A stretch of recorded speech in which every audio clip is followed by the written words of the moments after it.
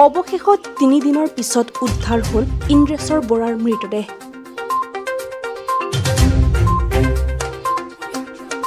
কাজিৰঙা ৰাষ্ট্ৰীয় উদ্যানৰ ভাষা টাপুত উদ্ধাৰ মৃতদেহটো। শনিবাৰে পুৱাই বিশ্বনাথ ঘাটৰ কেন্দ্ৰীয় বনাঞ্চলিক কাৰ্যালয়ৰ দল আৰু নদী আৰক্ষীৰ দলে উদ্ধাৰ কৰে মৃতদেহটো। মৃতদেহটোৰ আঙুলিত আছে জে আখৰ লিখা আঙুঠি। ইন্দ্ৰেশ্বৰ বৰাৰ খুৰাকে মৃতদেহটো ইন্দ্ৰেশ্বৰ বৰাৰ বুলি চিনাক্ত কৰিছে।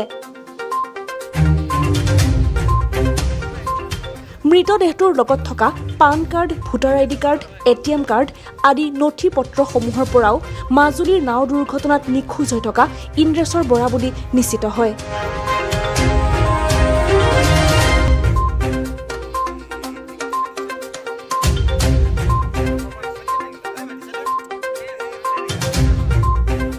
আমাৰ ৰাতিপুৱা সদায় ৰাতিপুৱা তহলদাৰী দল এটা যায় আমাৰ তহলদাৰী কৰে গোটেই কাজিৰঙা আমাৰ যিটো ৰিভাৰ এৰিয়া আছে সেইটো তহলদাৰী দলে ৰাতিপুৱা কৰে। সেই তেনেকৈ গতানুগতিকভাৱে যে কৰি থাকোঁতে আজি তাৰমানে ইয়াতে আহ, উমাটামনিৰ আগত ভাষা টাপু বুলি কয়। ভাষা টাপুত তাৰমানে মৃতদেহ এটা প্ৰত্যক্ষ কৰিলে। প্ৰত্যক্ষ কৰাৰ পিছত সেইটো আমি খবৰ দিলোঁ। চবকে খবৰ দিয়াৰ পিছত আমি যেতিয়া আহিলোঁ তেতিয়া দেখিলোঁ যে ইয়াতে আপোনাৰ জীন্স পেণ্ট আৰু টি চাৰ্ট পিন্ধা এটা মৃতদেহ ইয়াত লাগি থকা হৈছে। তেনেকৈ আমি চবকে খবৰ চবৰ দি মেলি পেলাই আমি ইয়াতে ৱেইট কৰি আছোঁ পুলিচক গতাই দিবৰ কাৰণে। এনেকৈ মৃতদেহৰ হেৰিটো চাই মেলি ধাৰণা কৰাইছে যে মাজুলীৰ পৰাই উঠি অহা হ'ব লাগিব। মানে তাৰ যিটো তাৰমানে গেট আপটো দেখিছোঁ আমি।